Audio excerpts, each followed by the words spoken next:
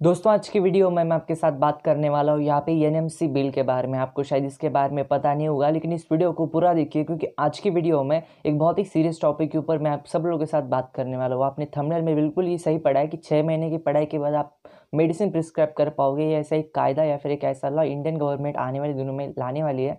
तो एक देखते हैं इसके बारे में क्या एग्जैक्टली जानकारी हमारे पास है और ये जो बात है, ये सही है या फिर गलत? या पे इंडिया में बहुत सारे डॉक्टर्स इसकी वजह से स्ट्राइक पर जाने वाले एट्थ ऑफ़ ऑगस्ट को। तो इस वीडियो को शुरू से लेकर अंत तक ज़रूर देखिए।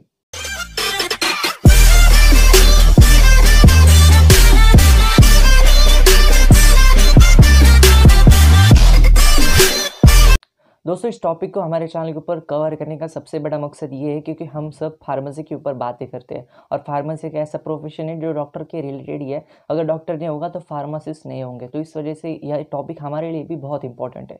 अब देखो एन बिल क्या है? इसकी सबसे पहले जानकारी मैं आप सब लोगों को देना चाहता हूँ। देखो, हमारे जो minister Indian health minister mister Harshvardhan इन्होंने एक बिल यहाँ पे राज्यसभा में पेश किया था, जहाँ पे उन्होंने बोला था कि यहाँ पे एन बिल जो है, ये आने वाले दिनों में जो ग्रामीण इलाके होते हैं, जो विलेजेस विलेजेस के इलाके होते हैं, ऐसे इलाकों में सबसे बड़ी प्रॉब्लम आती है डॉक्टर्स की। डॉक्टर्स वहाँ पे नहीं पहुँच पाते। इंडिया जैसी बहुत बड़ी कंट्री जहाँ पे लाखों ऐसे विलेज के एरिया है जहाँ पे डॉक्टर नहीं जा पाते। बहुत ट्रबल ट्राइबल एरिया होते हैं ट्राइब एरिया होते हैं।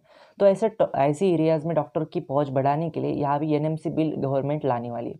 अब देखो राज्यसभा में इसे तो पेश किया गया, यहाँ पे उसे परमिशन भी मिली, यहाँ पे उसे दो अमेंडमेंट भी मिले, लेकिन यहाँ पे लोकसभा में अभी ये परमिशन बाकी है और हो सकता है आने वाले दिनों में अगर प्रेसिडेंट इसके ऊपर साइन कर दे तो ये बिल पास हो जाएगा। अब देखो, इसका सबसे बड़ा फ़ायदा क्या है और इसके सबसे बड़ा नुकसान क्या है? देखो, फ़ायदा ये है कि यहाँ पे जो विलेज के एरिया होते हैं इंडिया जैसी कंट्री जहाँ पे करोड़ों लोग रहते हैं हर एक इंसान के पास डॉक्टर का पहुँच पाना लगभग नामुमकिन है। तो इस वजह से डॉक्टर की पहुँच थोड़ी बढ़ पाएगी एन एम सी बिल आने की वजह से। दूसरी चीज़ यह होगी कि यहाँ पे जो मेडिकल वाले स्टूडेंट होते हैं, जहाँ पे उनका अगर मेडिकल डिग्री कंप्लीट होती है तो आज की डेट में वो डायरेक्टली मेडिकल ओपन करते हैं, यानी वो डायरेक्टली हॉस्पिटल ओपन करते हैं। लेकिन आज के आने वाले दिनों में अगर ये बिल पास हो जाता है तो एक चीज़ ये होगी उनकी डिग्री कंप्लीट होने के बाद उन्हें एक एग्ज़ाम देनी पड़ेगी। वो एग्ज़ाम पास होने के बाद ही उनका मेडिकल का लाइसेंस इश्यू होगा। ये बहुत अच्छी चीज़ है, क्योंकि मुझे लगता है कि कई बार ऐसा होता है कि डोनेशन वगैरह भर के कुछ पेरेंट्स उनकी बच्चों को मेडिकल की पढ़ाई तो कर देते, लेकिन उनके पास कोई स्किल्स नहीं होता। और ऐसे केस में पेशेंट यहाँ पे ट्रबल में या फिर बस वक्त डेंजर में आ सकता है। अगर ऐसे डॉक्टर के हाथ में अगर जाए जिसकी डिग्री पूरी की पूरी डोनेशन के ऊपर कंप्लीट हो चुकी है तो इस वजह से ये जो एग्ज़ाम वाला पैटर्न है, मुझे लगता है बहुत ही अच्छा कदम है। यहाँ पे सबसे ज़्यादा नुकसान और सबसे बड़ा सीरियस चीज़ ये है कि इस बिल के अंतर्गत अंतर्गत एक चीज़ दी गई थी कि छः महीने की पढ़ाई करने के बाद प्राइमरी हेल्थ केयर में डॉक्टर की बड़ा, पहुँच बढ़ाने वाले, यानी जो मैं प्राइमरी चीज़ें होती है, अगर मैं बात करूँ फेवर कफ कोल्ड वोमिटिंग ऐसी चीज़ें जब होती है तो ऐसे बेसिक चीज़ों के ऊपर ट्रीट करने के लिए छः महीने का एक कोर्स होगा, वो कोर्स करेंगे वो लोग और उसके बाद पेशेंट को प्रिस्क्राइब वो कर सकते हैं मेडिसिन अब देखो ये गवर्नमेंट के अंतर्गत होगा, इसमें ऐसे कुछ नहीं कि छः महीने का कोर्स कोई भी कर ले और मेडिसिन हॉस्पिटल ओपन कर ले। इसमें भी कुछ ना कुछ क्राइटेरिया होंगे गवर्नमेंट उन्हीं लोगों को लेगा जिनके पास नॉलेज होगा। लेकिन फिर भी मुझे लगता है इस वजह से प्रॉब्लम क्या होगा कि जो फेक डॉक्टर्स होते हैं, कई बार हमने बहुत बार देखा है कि आज की डेट में मेडिकल लाइसेंस की इतनी कठिन या फिर इतनी हार्ड प्रोसीजर होने के बावजूद भी कुछ फेक डॉक्टर्स इंडिया में अवेलेबल है। तो इस वजह से अगर ऐसी चीज़ होगी जहाँ पे डॉक्टर्स को ज़्यादा परमिशन दी जाएगी तो ऐसे केस में फेक डॉक्टर लोगों को लूटना, लोगों से ज़्यादा पैसे लेना, ऐसे डॉक्टर की चीज़ें बढ़ सकती है। और दूसरी चीज़ जो जो दूसरा सबसे बड़ा, बड़ी चीज़ मुझे लगती है कि कुछ डॉक्टर्स होते हैं जो दस दस साल पढ़ाई करते हैं।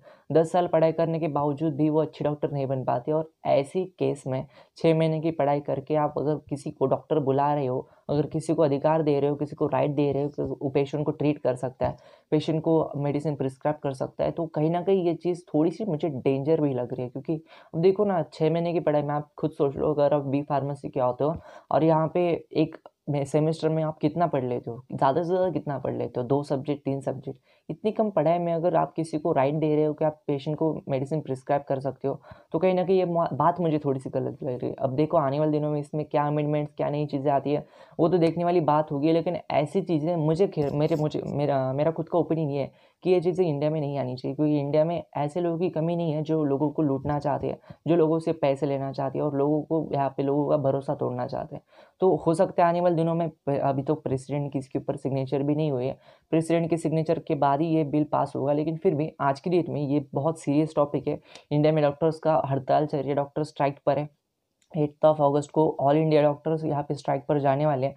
लेकिन ये बहुत बड़ी चीज़ है और मैं आप सब लोगों के साथ इसी वजह से शेयर करना चाहता था क्योंकि बहुत सारे लोग मुझे बोलते हैं कि यहाँ पे फार्म डे के बाद क्लिनिक ओपन करना चाहता हो, इसके बाद क्लिनिक ओपन करना चाहता हो। तो दोस्तों, एक क्लिनिक ओपन करना एक बहुत ही बड़ी चीज़ होती है और क्लिनिक ओपन करने का अधिकार आपको तब भी आएगा, आपको राइट तब भी आएगा जब आप मेडिकल की पढ़ाई करोगे। फार्मेसी की पढ़ाई करके आप कभी भी यहाँ पर मेडिकल ओपन नहीं कर सकते सॉरी हॉस्पिटल नहीं ओपन कर सकते। मेडिकल तो ओपन कर सकते लेकिन क्लिनिक नहीं ओपन कर सकते।